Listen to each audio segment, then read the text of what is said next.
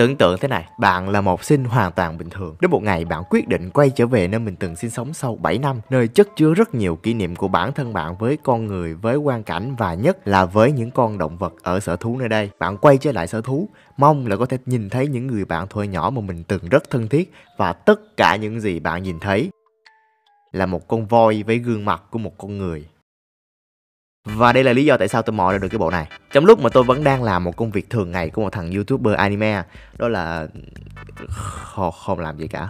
Kiểu anh em nghĩ với một thằng nghèo như tôi thì làm được cái gì? Đi vô nhà nghỉ đêm Noel xong rồi khóc một mình ở trong đấy à? Tôi ngồi lướt mạng nguyên một ngày để tìm cái gì đó hay để xem Thì tất cả những gì tôi thấy đó là trung bình người chơi Genshin Impact CGI của Chainsaw Meme Boxy The Rock Meme Boxy The Rock Và Meme Boxy The Rock. Và rồi tôi nhìn thấy cái bìa chuyện này. Một con voi có gương mặt của một con người đang ăn một con người khác. Tôi biết là mọi người đang nghĩ gì. Cái đéo gì đấy? Tôi có rất nhiều câu hỏi sau khi nhìn thấy cái bìa chuyện này. Tại sao con voi lại có mặt người? Tại sao nó lại ăn con người? Tại sao tôi vẫn chưa có người yêu? Tại sao tôi vẫn chưa có người yêu? Vậy nên là tôi đã mò đi đọc cái bộ manga này và nó thực sự là một cái trải nghiệm rất là ám ảnh.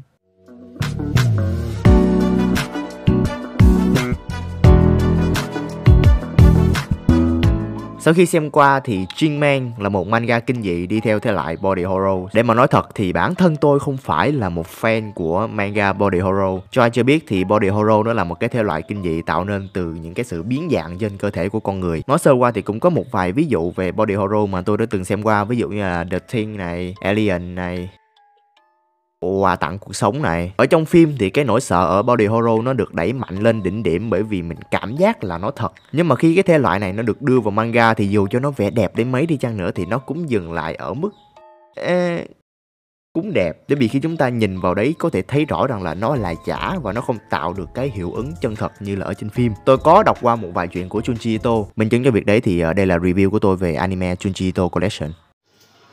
Tôi thích Tomie, tôi thích Uzumaki nhưng mà những cái tác phẩm đấy nó làm cho tôi sợ bởi vì cái sự kinh tởm ở cái ý tưởng và cái sự điên loạn trong cái suy nghĩ của Junji Ito chứ nó không thực sự đến vì tra tấn thể xác. Vậy nên dù cái ý tưởng khá là hay nhưng mà tôi cũng không kỳ vọng rằng shinman sẽ là một bộ body horror tốt. Cái nét vẽ của cái chuyện này nó theo cái hướng tả thực nhiều hơn. Những cái con vật khi mà có mặt của con người được lên bóng cực kỳ chi tiết. Ở một vài chấp đầu thì tôi thấy là nhân vật vẽ khá là sơ sài nhưng mà càng về sau ta có thể nhìn thấy được cái sự chăm chút của tác giả nhiều hơn trong cái việc bộc lộ cảm xúc của cả nhân vật nó đi từ thế này đến thế này. Henty Holy shit, what the fuck? Tôi không đánh giá cao cái cảnh giết chóc này cho lắm Bởi vì về cơ bản nó được vẽ chi tiết thật. Nhưng mà như đã nói dù đẹp nhưng mà nó vẫn cho tôi một cái cảm giác khá là giả chân Để có thể gọi là sợ được ấy. Mà phần lớn cái sự căng thẳng nó đến từ nội dung. Chuyện kể về một anh bạn tên là Masato Từ hồi nhỏ thì cậu đã rất thích và làm thân được với rất nhiều động vật ở sở thú Mà cậu hay lui tới tên là Safari World. Không chỉ yêu thích mà anh bạn này thực sự có khả năng cảm nhận và hiểu được cảm xúc của động vật nghe cứ như là công chúa Ori Sau khi chuyển nhà được 7 năm thì cậu quyết định quay trở lại sở thú cùng với cô bạn thời nhỏ của mình là Nakata và có vẻ như là mấy con động vật ở trong sở thú nó không được thân thiện lắm. Bọn thú này nó không chỉ là có khuôn mặt của con người mà nó còn có trí khôn và nói được tiếng người. Bản thân của cái bộ truyện này biết rằng là mình không thể trở thành một bộ thuần kinh dị được, vậy nên là càng về sau nó càng đẩy mạnh cái yếu tố drama lên. Một cái mà tôi rất là thích ở cái bộ manga này đó là chúng ta sẽ không thể tin bất kỳ ai hết kể cả là nhân vật chính, bất kỳ một cái nhân vật nào xuất hiện đều sẽ có một cái bí ẩn gì đó, một cái sự, gọi là, xú xì ba cà gì đó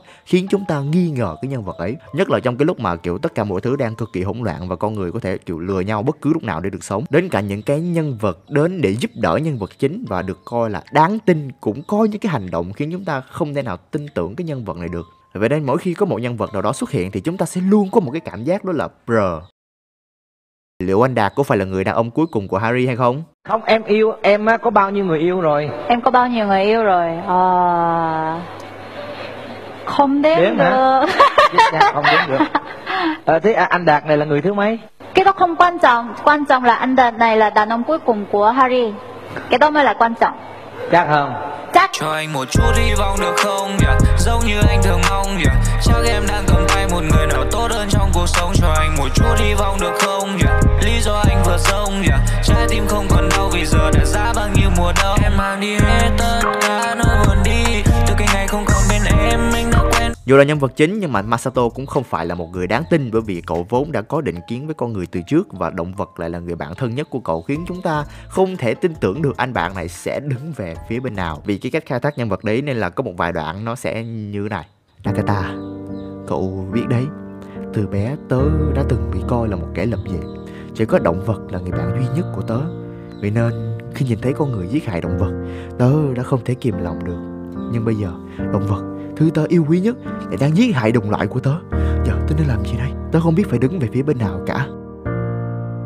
Bố mẹ đéo quan tâm được chưa? Tao sắp chết rồi đây này. Nhưng mà bản thân tôi thấy đây là một cách phát triển nhân vật rất là thú vị. Anh em có thể trách là à, tại sao men lại lưỡng lự trong khi theo lẽ thường thì phải đứng về phía con người. Cái vấn đề là chính con người cũng đang lừa dối nhau khiến cho cái nội tâm của anh bạn này cho nên thú vị hơn. Và một cái hứa khiến cho tôi ấn tượng hơn cả về cái bộ truyện này chính là cái ý tưởng của nó. Anh em có bao giờ nghĩ về việc sẽ thế nào nếu con người và động vật đổi chỗ cho nhau chưa? Tôi biết đây là một cái phép so sánh không hề công bằng bởi vì cái nhu cầu về sức khỏe, về tinh thần, về vật chất của con người và động động vật là hoàn toàn khác nhau. Đồng nghĩa rằng là công việc của con người và động vật cũng phải khác nhau. Quan trọng là nó đáp ứng được cái nhu cầu của cả hai bên. Tưởng tượng nếu con bò phải mặc vest đi làm văn phòng 8 tiếng một ngày, mỗi lần về quê thì bạn nghe mấy cái câu kiểu như là Con có người yêu chưa? Con của cô năm nay 19 tuổi đã có 20 năm kinh nghiệm trong nghề, lương tháng trăm cửu và có thằng con đang đi học đại học đấy. Thì chắc chắn là con bò đấy cũng sẽ ngồi một góc xuống một khóc lóc như một thằng thất bại trong khi mình chỉ ngồi một góc ăn cỏ và công việc duy nhất của mình đó là rặn ra nhiều sữa nhất có thể. Nhưng cái nỗi sợ của cái ý tưởng này đâu đến từ việc chúng ta biết chúng ta đối xử với động vật như thế nào nên chúng ta sợ một ngày nào đó phải trở thành chúng. Con người luôn có xu hướng sợ hãi những cái thế lực lớn hơn mình, đó là lý do tại sao mà ma quỷ nó ra đời. Nhưng với ma quỷ thì chúng ta là người bị hại, nhưng mà với động vật